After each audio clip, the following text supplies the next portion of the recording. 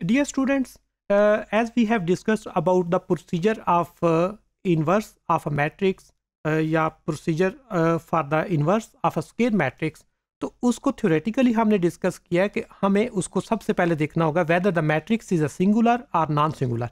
if the determinant of a specific matrix is equal to zero तो उसको हम inverse uh, find नहीं कर सकते। लेकिन अगर किसी मैट्रिक्स का डिटर्मिनेंट नॉन ज़ीरो होगा तो हम उसका मैट्रिक्स का डिटर्मिनेंट फाइंड करने के बाद इन्वर्स की तरफ़ मूव कर सकते हैं।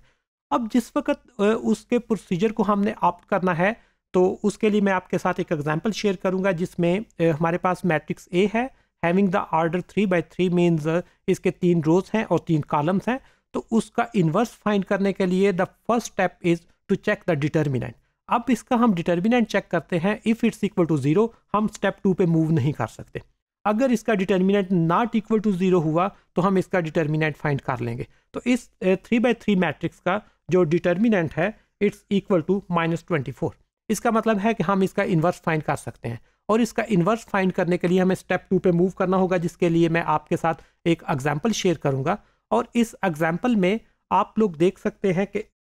हम इन्वर्स फाइंड करने के लिए जो हमारे पास मैट्रिक्स ए थी मैट्रिक्स ए में we have one two three five seven four two one and three और इसका जब हमने डिटर्मिनेंट फाइंड किया है तो डिटर्मिनेंट फाइंड करने के लिए अगेन रिपीट कर देता हूँ प्रोसीजर कि हमारे पास जो माइनर्स हैं लाइक वन और वन के रो और कॉलम को अगर इग्नोर किया जाए डिलीट किया जाए तो हमारे पास seven four and one three बचता है। अगले की साइन अपोजिट हो जाएगी। Two in two five, two,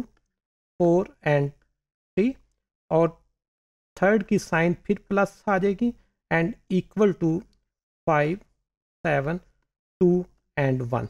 और इसको और सिंप्लीफाई अगर हम करें तो ये आ जाएगा one into twenty one minus four, minus two into fifteen minus eight plus three into five minus fourteen जब हम इसको और सिंप्लीफाई करेंगे तो ये हमारे पास आ जाएगा seventeen minus fourteen minus twenty seven is equal to minus twenty four and the determinant of A is equal to minus twenty four this is step one और यहाँ पर हमने देखा है this is equal to minus twenty four और minus twenty four is not equal to zero it means हम इसका inverse find कर सकते हैं। And second step is to find the को फैक्टर्स ऑफ़ मैट्रिक्स ए और को फैक्टर के लिए हम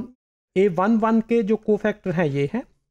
टू के को फैक्टर ये हैं थ्री के को फैक्टर ये हैं फाइव के को फैक्टर हमारे पास ये है। इस तरह कंप्लीट हमारे पास को फैक्टर मैट्रिक्स है इसको हमने अगर सॉल्व किया तो ये हमारे पास कंप्लीट को फैक्टर मैट्रिक्स आ जाएगी और इसका ट्रांसपोज फाइंड करें तो हमारे पास एडजाइंट ऑफ़ ए आ जाएगा। और एडजाइंट ऑफ़ ए के लिए आप लोग देख रहे हैं, आपकी जो फ़र्स्ट रो है, यहाँ पे फ़र्स्ट कॉलम बन गया सेकंड रो सेकंड कॉलम बन गया and third row third column बन गया और को फैक्टर के ट्रांसपोज को हम एडजाइंट ऑफ़ ए कहते हैं। यहाँ तक हमने डिटर्मिनेंट भी फाइंड कर दिया एडजाइंट भी फाइंड कर लिया अब इसको इन्वर्स के फार्मूले में हम ऐड करते हैं। तो इन्वर्स का फार्मूला मैंने पहले भी आपसे शेयर किया कि A inverse is equal to one over A's determinant into adjoint of A अब यहाँ पे आप देख रहे हैं one divided by minus twenty four which is determinant of A into cofactor से हमने जो एडजाइंट फाइंड किया है, ये हमारे पास मैट्रिक्स आ गई। हर एलिमेंट को 24 पे डिवाइड किया तो ये हमारे पास एक नई मैट्रिक्स आ गई जिसको कहते हैं दिस इज़ ए इनवर्स यहाँ तक प्रोसीजर कंप्लीट हो गया। अगर हमने वेरीफाई करना है कि क्या हमारा प्रोसीजर ठीक है, हमारा आंसर ठीक है या नहीं तो ए को ए इनवर्स के साथ मल्टीप्लाई करेंगे तो हमारे पास एक नई मैट्रिक्स आएगी जिसको आइडेंटिटी मैट्रिक्स कहते हैं। अगर आइडेंटिटी मैट्रिक्स आ गई तो इसका मतलब है आपका प्रोसीजर ठीक है। अगर आइडेंटिटी मैट्रिक्स नहीं आई तो इसका मतलब है आपने प्रोसीजर में कहीं ना कहीं कोई मिस्टेक की है और उसको वेरीफाई करके चेक करके, फिर दोबारा प्रोसीजर करेंगे और जब तक आई मैट्रिक्स नहीं आएगी, हम इस प्रोसीजर को करेक्ट नहीं कह सकते।